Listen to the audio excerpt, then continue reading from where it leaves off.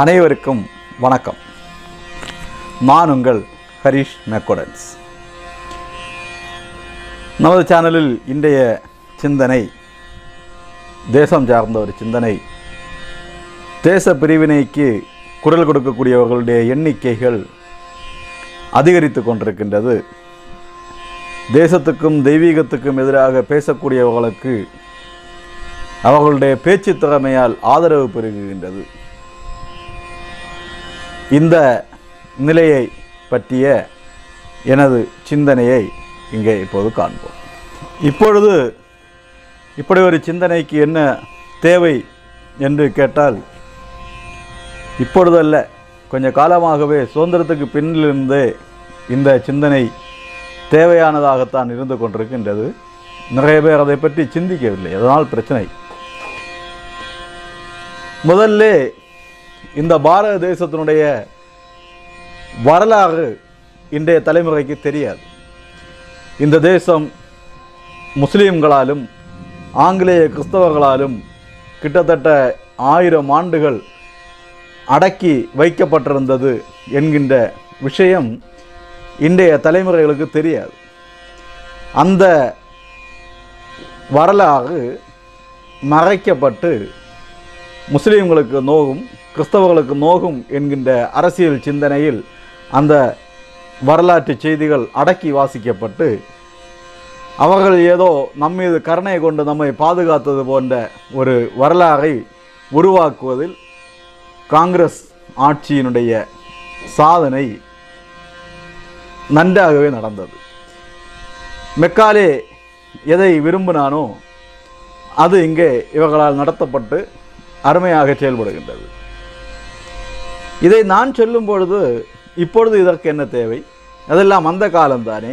பழைய காலத்தில் நடந்த விஷயங்களை இப்பொழுது இதற்கு பேச வேண்டும் என்று எல்லாம் வரக்கூடியவர்களிடம் நான் திரும்ப கேட்கின்றேன். எந்த ஒரு காலத்திலே உயர்ந்த ஜாதி தாழ்ந்த ஜாதி என்று இருந்து பிரச்சனை இருந்தது உன்னை கோயிலுக்கு போக விடவில்லை என்று சொல்லுகின்றாய்.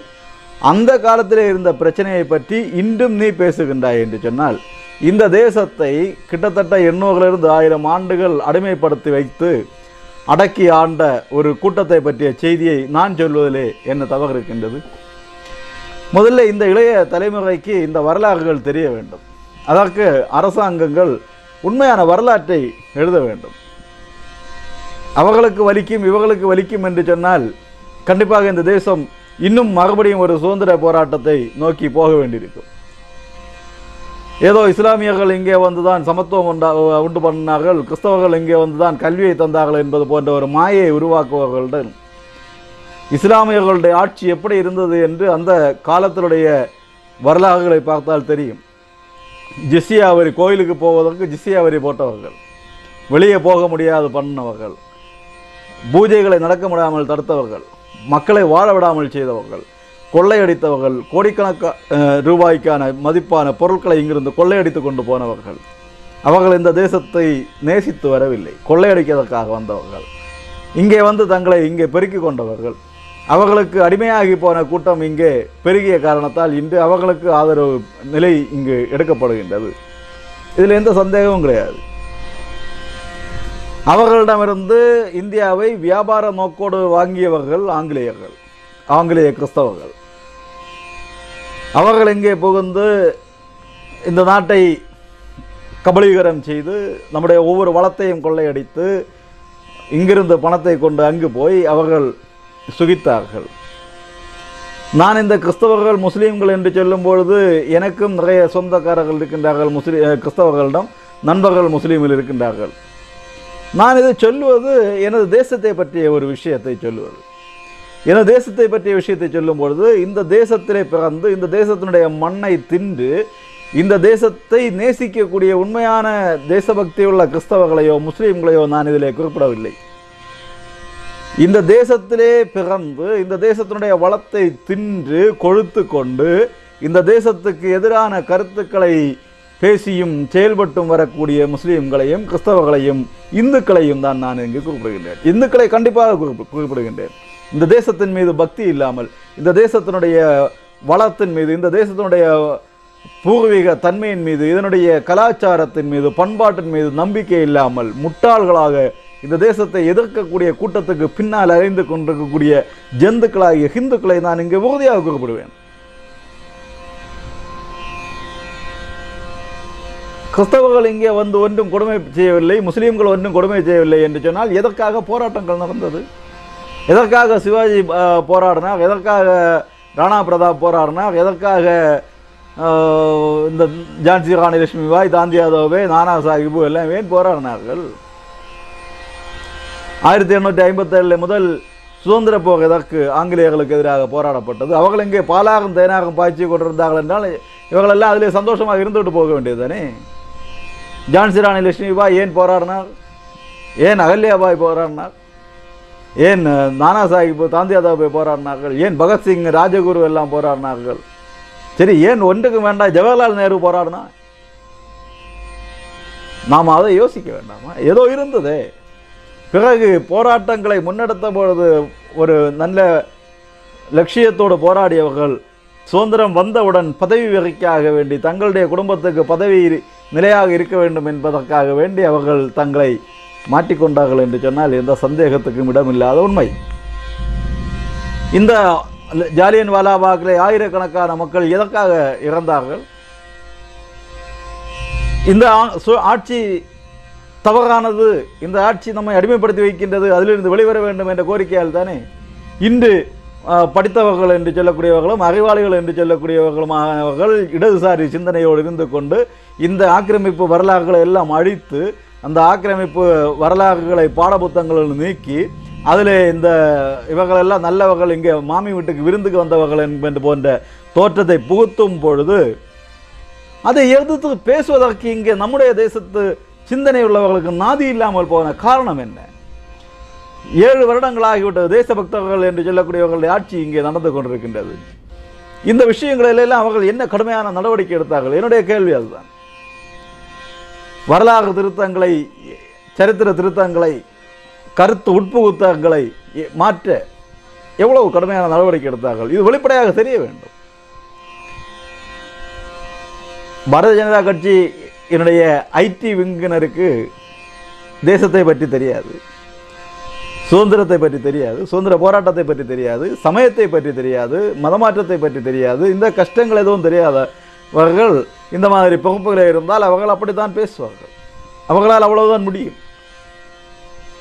ஒவ்வொரு நாளும் ஒவ்வொரு அரசியல்வாதியும் இந்து சமயத்தை குறித்து கருத்து போடும்பொழுது அதை பேசுவதற்கு கண்டிப்பதற்கு நம்முடைய ஆட்களுக்கு த அறிவில்லை.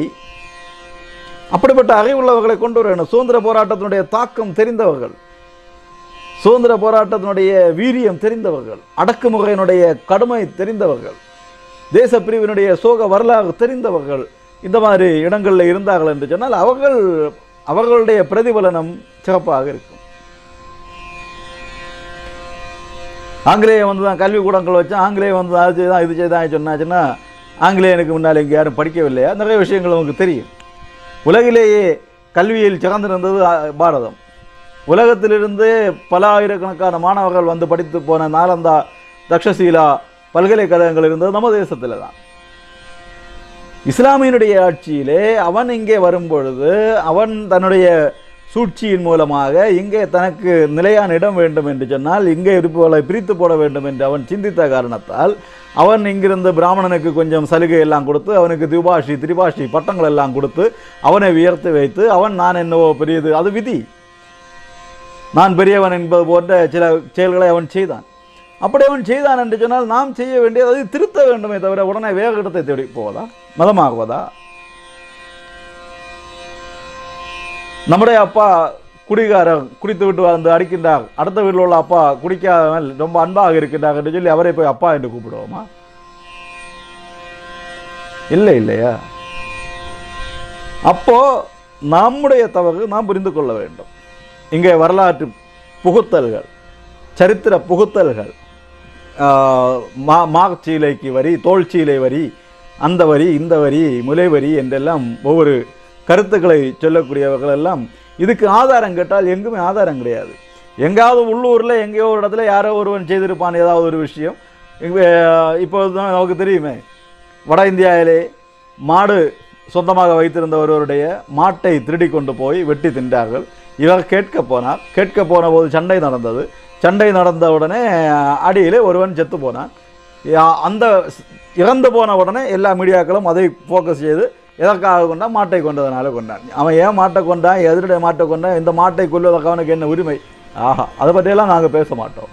நாங்கள் கொன்ற மாட்டை கொண்டா மாட்டை கொன்றவனை மாட்டை பிடித்தவனை மாட்டு இறைச்சி சாப்பிட்டவனை கொண்டான் என்று தான் நாங்கள் சொல்லுவோம் என்று இப்பொழுது இவ்வளவு அட்வான்ஸான செய்தி ஊடகங்கள் இருந்தபோதே பொய்யை புனைந்து பரப்பிவிடக்கூடிய ஊடகங்கள் அன்றைக்கு இருந்த நிலை மேலே என்னவெல்லாம் கட்டியிரு கதைகள் கட்டியிருக்கும்?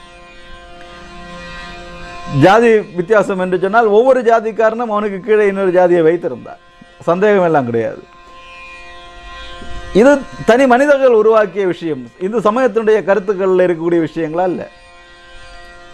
ஆனால் இதை இந்து சமயத்தினுடைய கருத்து போல காட்டி கருத்து புகுத்தல்களை செய்து இந்த பிரச்சனைகளை எல்லாம் உருவாக்கி சமயத்தை அவமானப்படுத்துவதற்கு துணிபவர்கள் முன்னால் அவர்களுக்கு சரியான பதில் கொடுப்பதற்கான அறிவு நம்முடைய இந்துக்களிடம் இல்லாமல் போனதுதான் காரணம்.